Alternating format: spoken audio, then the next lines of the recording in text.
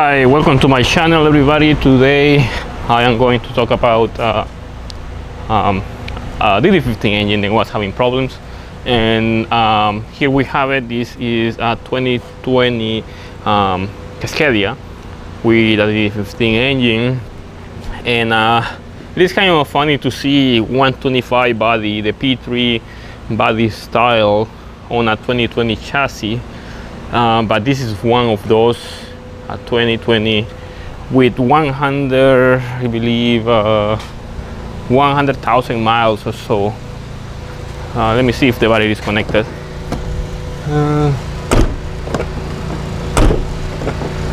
I don't think the battery is connected because we're working on the yeah we don't see it but it has like 1,000 uh, 100,000 miles.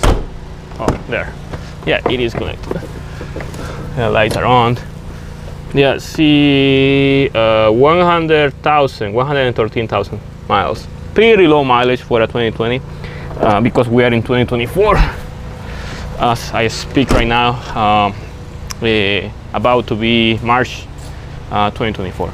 So uh, the problem is then we were having the code then says uh, the crankshaft and the crankshaft sensor are not matching. And um, the situation was that the engine was cranking, you crank the engine, no start. Uh, the customer said that he was using starting fluid to start the vehicle, to, to start the engine, and the engine started, but uh, it died eventually because there was no ignition at all. There was not uh, any type of fire going on, so the computer couldn't hold the engine on idle. And immediately after the uh, starting fluid was uh, completely uh, en out of a supplier to the engine, and the engine died immediately. So uh, today we want to talk about that. So for that, for that reason, we, we have uh, the transmission out because the timing on these uh, engines is on the rear area. And the problem that happened to this uh, engine isn't a problem. It happened and a job was done uh, uh, really bad. someone did a clutch replacement job and didn't do it right and uh, that's the reason why we had to remove the, uh, the transmission and investigate the problem. So uh, here here we will have the problem. So the problem is then the flywheel wasn't aligned correctly on the timing mark. So the crankshaft is going to have a specific mark where the flywheel is going to align. And if the flywheel isn't aligned to that mark the uh, the engine immediately um, is going to uh, detect by the sensors, the computer is going to detect by the sensors, then the timing is incorrect. And then the engine won't be able to fire up because the thing, uh, the thing is like the engine thinks then uh, the engine is out of timing. So to prevent major damage to the engine, the engine won't uh, fire the cylinders and that way will prevent any serious problems with the engine like piston damage, cylinder head uh, valve damage and, and, other problems just similar to that. So uh, as uh, I can show you right now, I mean the the transmission is about to be mounted. We have it uh, we have it to a point and uh, we can just mount it right now uh, because we fixed the problem. But here we have the flywheel right here on the side, and that's uh, one of the things that I'm here to show you. Um, they broke a ball. See, a ball is broken inside. That is not good. Uh, this happened when you apply too much torque to the balls and you don't supposed to apply that much torque to this ball so it broke inside. But this something then it's easy to fix that's not a big problem. The problem is on the rear area. Uh, right here. Uh, we can see the damage right here. See this is where the mark the timing mark was when the flywheel was removed and this is where it's supposed to be. This is the pin where it aligns with the flywheel so this is a mistake that happens to many different mechanics over the time. I have seen it many times. Not, this is not the first time I have seen it, but this is the first time I see it too far away from there. Usually it is just one or, or, uh, or one to the right, one to the left.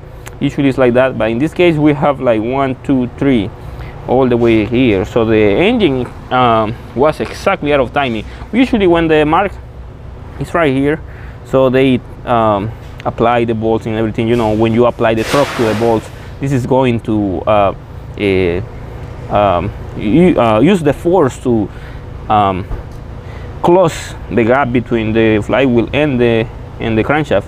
So it's going to create it but if it's right here the engine will be able to start by one run. It will start but it, it, it will die. Like it will start for a couple seconds maybe one minute and then it will die because the computer will notice and there is some anomaly with the timing of this engine but uh, this is something that you guys have got to pay attention to and uh, as it is the uh, flywheel is damaged but if you get this problem uh, the flywheel uh, um, mark it is a, a pointer a little pin thing is there. So that pin is completely destroyed. So that if that happens to you uh, it's very hard to remove that pin. Um, in some cases removing the the rear uh, gear of the timing, the, the rear crankshaft gear, will be necessary. But if you don't have the money or you don't have the time, what you can do is just grind the, the pin down all the way and you still gonna be able to put the timing on as long as you make sure that this pin is right on the on the crankshaft mark and that is all it matters uh, uh, and once you get that out of the way and you put it in the right position the engine will start and you won't have that problem again but uh, I, I think this is a very important uh, problem then you guys got to uh, double check whenever you guys are working on timing on these D15 engines. Uh, I see a lot of people uh, doing mistakes with this D15 engine, and that's completely normal. That's acceptable because we all do mistakes. I don't, I don't think that is uh, something that uh, we need to criticize. Um, in the, uh, in the contrary, we need to learn from these mistakes. if, if that happened, then for any reason you are in a rush, to uh, put uh, all the timing pieces together, you have to double check, even though then you're gonna lose some time, or maybe the customer is gonna pay you later because if you you need the money now or something, whatever, or you are or, or you are pushing your mechanic to do it, just take it easy sometimes because if you uh, uh rush it, sometimes it can happen like this. So so the customer paid around what like. Uh, five thousand dollars to do this clutch job because he's using a cheap clutch uh, so now he's paying another uh, five thousand dollars to fix this problem because we're replacing all the components that are broken now. Uh, and as it is now, I see a couple things that we need to pay attention to, and that is the see this bracket is broken. See right here, that's a DOT compliance bracket. So if DOT finds that thing is broken, they will uh, write, write it up to you they will give you hard time with it but that's something that you can fix pretty easy um, but other than that it is just like ¿Quieres salir en el video aquí? Ese es su camión, mira.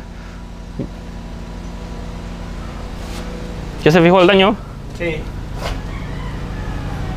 Ese es lo famoso en TikTok, ¿eh? ¿Y? Ahorita estamos armando ya.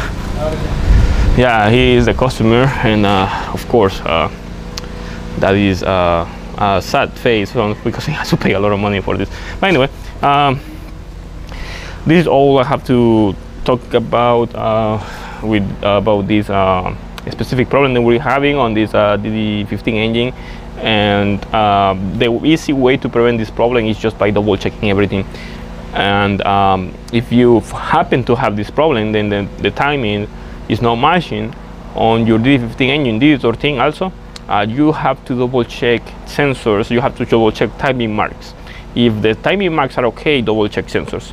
But uh, first, I think the first thing you have to do is double, ch uh, double check timing marks. You have to remove the valve cover and um, open the little service uh, a, um, plate in the bottom of the D15 engine has. If you don't know what it is, it's this one right here.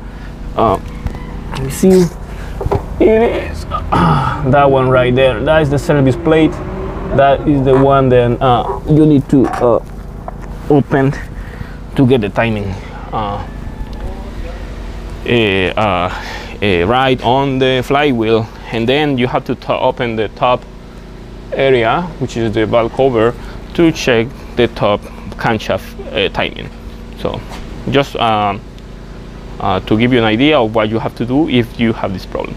But as it is, uh, we're done with this video. You have any questions, comment below. Um, if you are new to the channel, just double check and you subscribe. And uh, if you you here you see my logo, it's a truck that we fix.